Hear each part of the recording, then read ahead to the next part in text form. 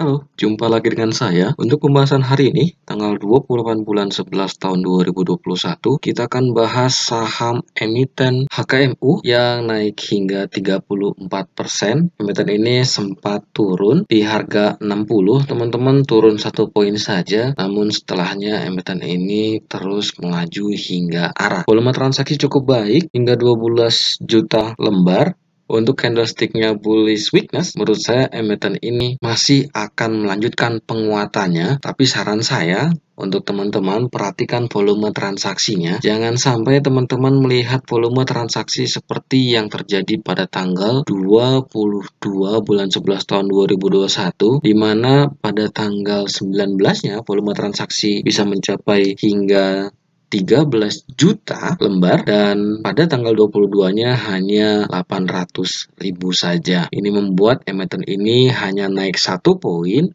dari 75 menuju ke 76 dan setelahnya emiten ini ARB di poin 69 dengan kenaikan seperti yang terjadi pada tanggal 26 sepertinya teman-teman harus memastikan kembali setidaknya cepat-cepatan untuk melakukan profit taking di emiten ini dari 82 menuju ke 83. Kita lihat jika memang volume transaksinya cukup banyak, maka teman-teman bisa melakukan take talk di emiten ini. Ketebatan risiko untuk bermain di emiten ini.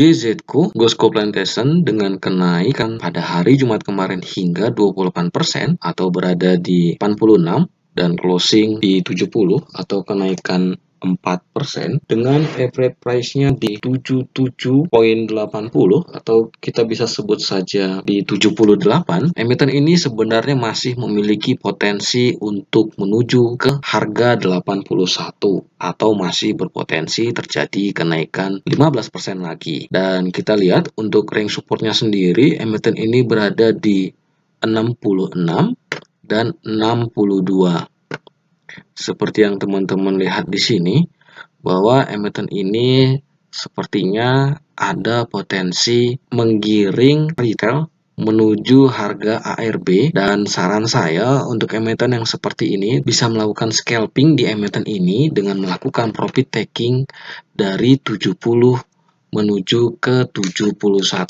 Saya melihat juga dengan volume transaksi yang cukup besar karena emiten ini jarang sekali memiliki volume transaksi yang cukup besar hingga mencapai 13 juta, menurut saya masih bisa mendapatkan cuan di emiten ini di 71. Teman-teman perhatikan, jika volume transaksi ternyata pada pagi hari tidak begitu banyak, bisa melakukan profit taking atau setidaknya teman-teman bisa mengambil modal teman-teman sana teman-teman masuk di harga 70 intinya di pagi hari jika volume transaksinya sepi saran saya teman-teman yang terutama untuk scalper bisa melakukan profit taking secepatnya atau teman-teman nanti bisa nyangkut di emiten ini. Untuk range support seperti yang saya bilang berada di 66 dan 62 dan teman-teman tetap perhatikan volume transaksinya. Jika volume transaksi ternyata tidak jauh lebih baik dan justru malah mengecil di bawah 1 juta, menurut saya teman-teman jangan dulu mengakumulasi emiten ini.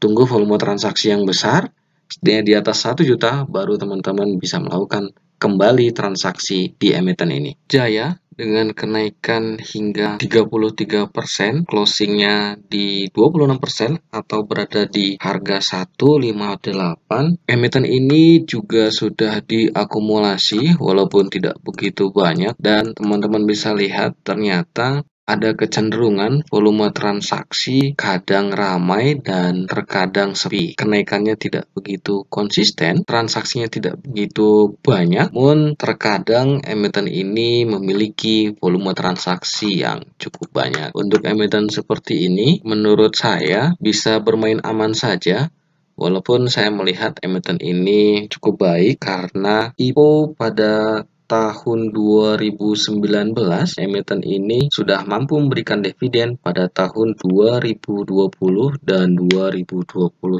untuk scalper tentunya yang ingin merasakan cuan di emiten ini saya menyarankan teman-teman bisa melakukan profit taking di 160 untuk range supportnya sendiri akan lebih aman jika teman-teman menunggu emiten ini di 93 walaupun saya melihat Sepertinya range ini terlalu jauh dan target price berikutnya di resistannya di 207 dan 375.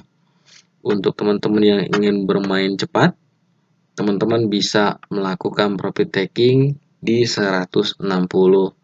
Dan teman-teman yang masih pengen nunggu emiten ini, teman-teman bisa melakukan wait and see hingga emiten ini menyentuh range harga di 114 dan ketika emiten ini menyentuh range tersebut saran saya teman-teman tetap perhatikan volume transaksinya jika ternyata tidak ada volume transaksi yang jauh lebih besar, baiknya teman-teman melakukan wait and see atau memilih emiten lain selain emiten ini. KBAG yang closing di harga ARB kemarin sempat naik hingga ke 127 dan closing di 117 minus 6,4 persen. Teman-teman lihat di sini memang terjadi akumulasi oleh asing di emiten ini dari tanggal 26 hingga tanggal 23. Pun karena kemarin ARB dan saham ini menurut saya berpotensi ARB kembali menuju 109 atau di esok harinya lagi Saham ini berpotensi ARB kembali menuju 102. Jika emiten ini tidak dijaga, menurut saya KBAG sendiri masih berpotensi menuju ke 95. Teman-teman yang masih berada di dalam akan berebutan untuk keluar di emiten ini dan saran saya untuk teman-teman yang belum masuk jangan dulu melakukan akumulasi di emiten ini hingga teman-teman melihat adanya volume transaksi yang besar. Seperti yang teman-teman lihat dari tanggal 12 bulan 11 tahun 2021 hingga tanggal 18 bulan 11 tahun 2021 volume transaksi itu terlihat pada tanggal 19 bulan 11 tahun 2021. Ditunggu emiten ini koreksi dan kembali koreksi namun tidak terjadi ARB kembali. Di situlah melakukan wait and see di emiten ini sambil melihat esok harinya ketika teman-teman melihat momentum maka teman-teman bisa melakukan transaksi di emiten ini. Untuk sementara dengan ARB yang terjadi di KBAG pada tanggal 26 kemarin, teman-teman bisa melakukan wait and see terlebih dahulu. Walaupun volume transaksi oke, okay, ada sekitar 12 juta lembar. Namun sekali lagi, karena saham yang ARB pasti berpotensi ARB kembali. Tetap risiko di emiten ini. BEPS berkah beton sadaya closing di 3770 di plus 5,31 persen Emiten ini menurut saya masih berpotensi menuju resistannya di 4230 dan support emiten ini berada di 3206. Untuk target scalpingnya, teman-teman bisa melakukan profit taking di 40-20. Kalau kita lihat volume transaksinya sudah naik dari tanggal 25 menuju 26 dari 300 dari 236 menuju ke 310. Menurut saya emiten ini masih berpotensi menuju 42 30 dan supportnya di 3206. Untuk mondinya juga teman-teman kenapa saya lebih memilih berhati-hati di emiten ini karena secara volume transaksinya dan kenaikannya juga emiten ini telah naik hingga 141%. Jadi saran saya teman-teman bermain hati-hati di emiten ini BRPT yang koreksi hingga minus 5% dan sempat berada di harga ARB di harga 1000, emiten ini masih berpotensi koreksi kembali dengan melihat dari distribusi yang terjadi dari tanggal 26 hingga 24 menurut saya teman-teman bisa melakukan akumulasi kembali emiten ini ketika berada di ring 976 hingga 802. Kita lihat pergerakannya. Emiten tersebut apakah terjadi pantulan pada ring 976 hingga 820 atau ini berarti masih berpotensi koreksi kembali sekitar 19% dan emiten ini sebenarnya masih berpotensi menuju resistannya di 1250. Saran saya, teman-teman mengakumulasi emiten ini saat emiten ini dalam kondisi sideways. Setidaknya tidak turun terlalu dalam atau mampu closing di zona hijau. Seperti itu. Untuk target jangka panjangnya tentu berada di 1250. Tetap pada risiko dan perhatikan volume transaksi di emiten ini. Untuk kondisi perusahaan sendiri, menurut saya BRPT adalah emiten yang sehat, di mana emiten ini pada tanggal 18 bulan 5 tahun 2021 kemarin tetap membagikan dividen walau dengan satuan rupiah yaitu 2,7 rupiah.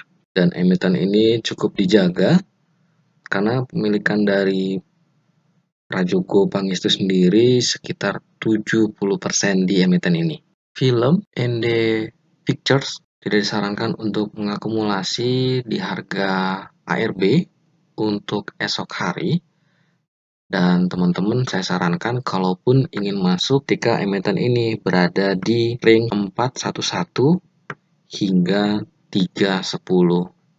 Dari 411 menuju 310 itu masih ada ring sekitar 24% dan saran saya untuk emiten ini yang pada satu bulan ini telah terjadi kenaikan sekitar 69% Teman-teman saya sarankan untuk berhati-hati karena dalam satu bulan saja kenaikannya cukup lumayan 69% tadi.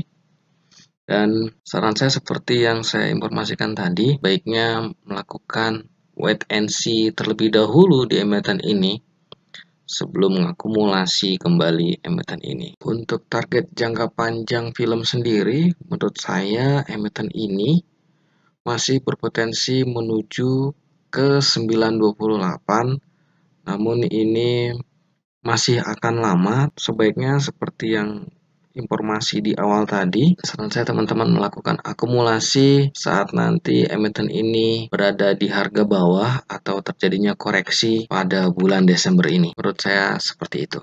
MDKA volume transaksi yang cukup baik hampir mendekati 600 ribu lembar di mana jika kita perhatikan di sini teman-teman saat emiten ini menyentuh di MA20 jika teman-teman perhatikan garis ini MA20 tersentuh maka emiten ini akan terjadi pantulan. Teman-teman perhatikan juga karena emiten ini kemarin sudah koreksi menurut saya kita dapat menunggu MDKA sendiri di range harga MA20 atau mungkin di sekitar 3378 teman-teman selalu perhatikan chart yang ada di desktop ataupun HP teman-teman semua. Dan untuk range amannya lagi teman-teman bisa menunggu emiten ini di ring supportnya yaitu di 365 dan 30 100 proses seperti itu. Untuk resistannya menurut saya emiten ini berada di 3790 untuk selanjutnya masih berpotensi menyentuh harga tertingginya. Dan untuk supportnya sendiri menurut saya emiten ini berada di 2340 dan 1115 potensi jangka panjang MDKA sendiri menurut saya masih akan mampu menembus resistannya di 3790. Coba TBS Energi Utama volume transaksi hanya 74.000 saja dan emiten ini pada tanggal 23 bulan 11 volume transaksinya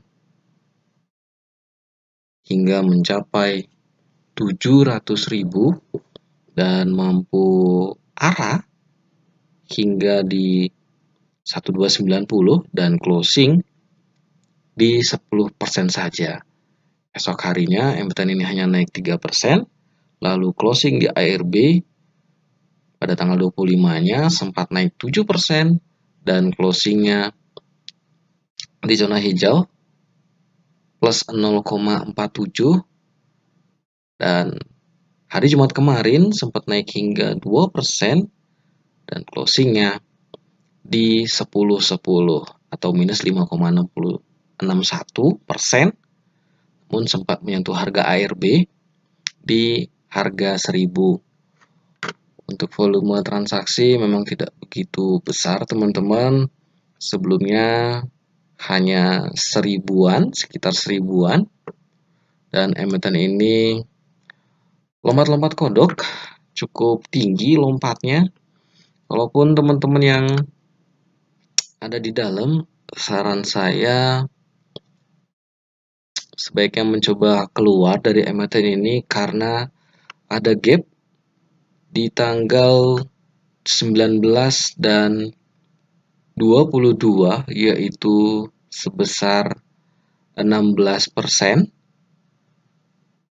gapnya sekitar 16% dan pada tanggal 18 bulan 11 2021 ke tanggal 19 itu ada gap sekitar 7% dan untuk emiten seperti Toba menurut saya gap-gap seperti ini biasanya akan ditutup.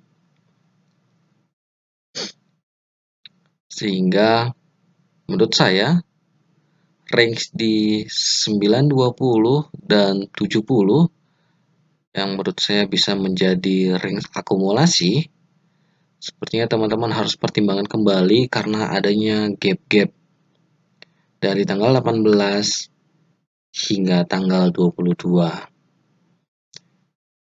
saya tidak menyarankan teman-teman untuk bermain di emiten yang seperti ini karena menurut saya cukup high risk dan Toba sendiri baru melakukan dividen pada tahun 2017 yang lalu. Ada sekitar empat tahun belum memberikan dividen namun secara keuangan emiten ini cukup baik. BCIC pada tanggal 26 kemarin ternyata naik hingga 11% di 278 dan closingnya di 252 dengan terjadinya kenaikan yang cukup signifikan ini, menurut saya emiten ini akan mampu menuju resistannya di 400 dan untuk support di emiten ini sendiri berada di 131. Teman-teman harus hati-hati bermain di emiten ini karena volume transaksinya memang tidak cukup banyak, hanya sekitar 500.000 saja jika kita lihat tanggal 26 dan 25 emiten ini telah diakumulasi oleh asing dan tanggal 24 hingga 19 asing distribusi di emiten ini. Kalau teman-teman mau, teman-teman memang sebaiknya melakukan akumulasi saat emiten ini berada dalam kondisi sideways range sideways emitter ini berada di 226 dan 250. Saya range yang sekarang ini merupakan momentum untuk mencoba mengakumulasi emiten ini. Untuk selanjutnya teman-teman bisa melakukan profit taking di resistannya di 400 ataupun teman-teman silakan jika memiliki target price sendiri ataupun menentukan bahwa transaksi pada tanggal 16 bulan 11 tahun 2021 merupakan target price yang teman-teman ingin tentukan. Saya rasa cukup sekian teman-teman. Terima kasih atas waktunya. Tetap atas risiko. Salam cuan.